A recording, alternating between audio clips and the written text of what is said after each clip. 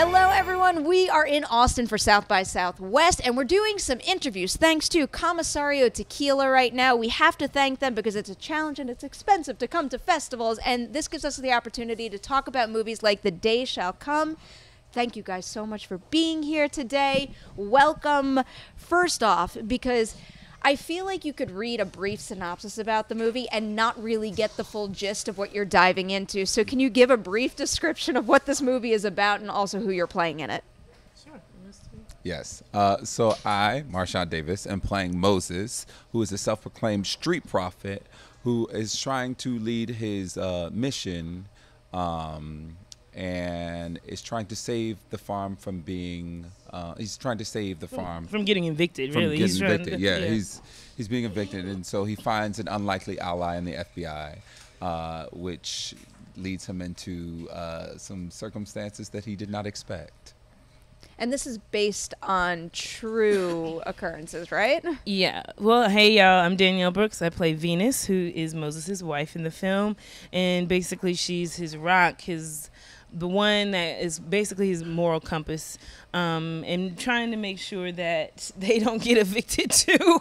Um, but anyway, uh, this movie is really about survival, um, I think, and and it is based off roughly based off other stories. You know, Chris had Chris Morris, our director, has seen or um, an article uh, that really struck him about uh, these like construction Haitian workers that had been um, tricked into this whole corrupt investigation thing with the FBI and basically had to spend 25 years in prison.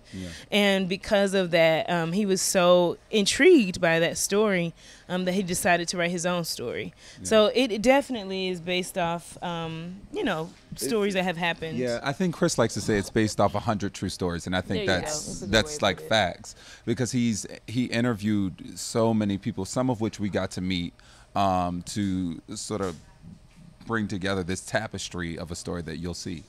Why was it important for you guys to sign on to this? What was it that drew you to the project? Because one of the things that I appreciate about the movies that I'm covering at South by, and you know, something like this in particular, is seeing things on the big screen gives people access to stories and other people's experiences that they might not be aware about. Uh, for me, it was really Chris Morris because I didn't know what I was doing. To be honest, we barely got the script. I, I kind of didn't even get the script until after I had gotten the part. So I didn't know what I was stepping into, and I had to fully put my trust in him. But knowing that you know he was very respected in this business, he mm-hmm. had won a BAFTA for Four Lions. I was like, okay, I'm gonna rock with him. And after I met him, I was like, oh yeah, I, I like his style and how he talks and works with actors. And I was like, I'll, I'll give it a shot. So I'm was so him. curious. How did that happen then? Do you have an agent or a manager who says, you know, this person wants to work with you? Yeah. Either say yes or no, and that's it? um, yeah, it was this. You know, the uh, casting director had reached out, was looking for someone like myself, I guess. And um, yeah, you have a conversation with your agent about what the project potentially could be. But I really had no idea what this was going to be. Um, and I had to go in kind of blinded, but really holding my hand out because I trusted Chris. And one of the most exciting things, I mean, as an actor, to be able to like go into an audition and not have to think about the lines, you just get to go in and Yeah. play. So I think uh, uh, Chris sort of like fostered that environment when we were on set um, a lot. So we we we didn't have much information to go off when we first got the script, but then I got the script after I. When people ask me when did what you felt about the, what I felt about the the the film when I first saw it, and I didn't. I didn't get the script until I got the job.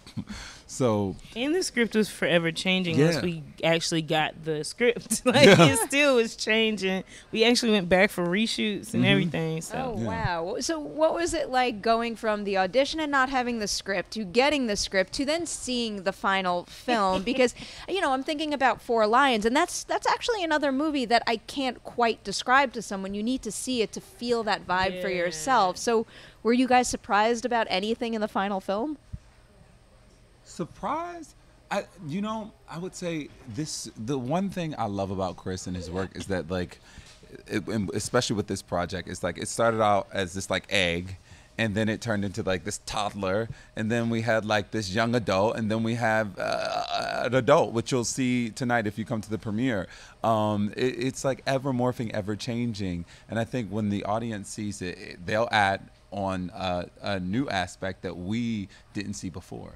Is there anything in particular that you two took from this story or just this experience making the movie? Because I'm, I'm sure there's a variety of responses someone could have, but for personally, what did you guys take from this? Um, that comedies can have consequences.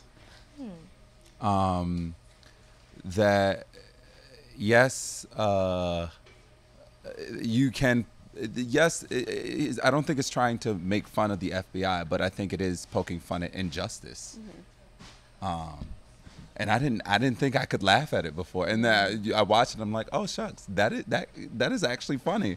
The mechanism in which uh, some of these people are like uh, prosecuted, it's it's ridiculous.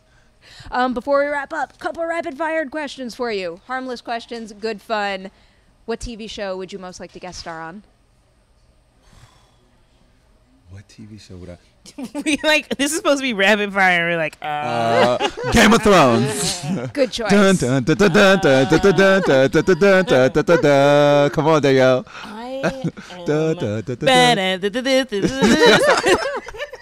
But you sang a song, so you get a pass. What movie do you quote the most? Uh, this is your queen to be. oh, coming to America. Probably like um uh color purple or something.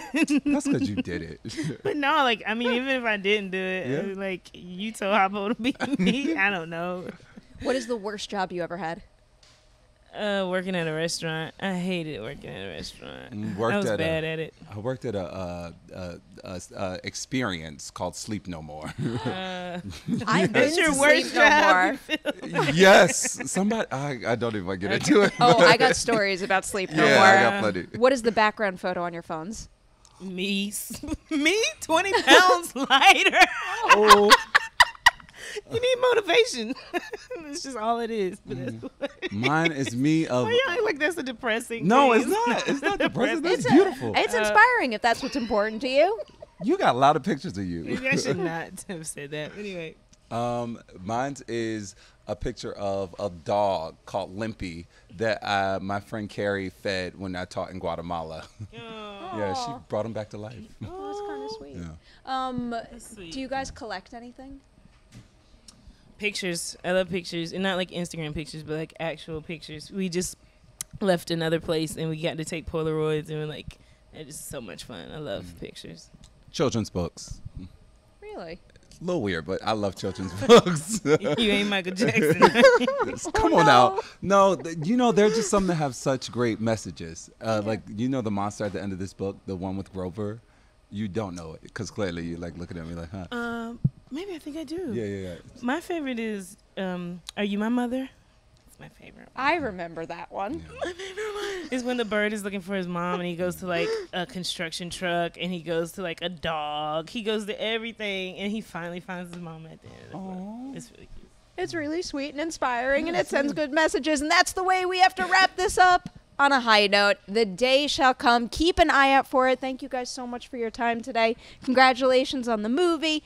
Thank you so much to our wonderful sponsors for letting us be here today. Like and share this interview, and we will see you soon with more South by Southwest interviews.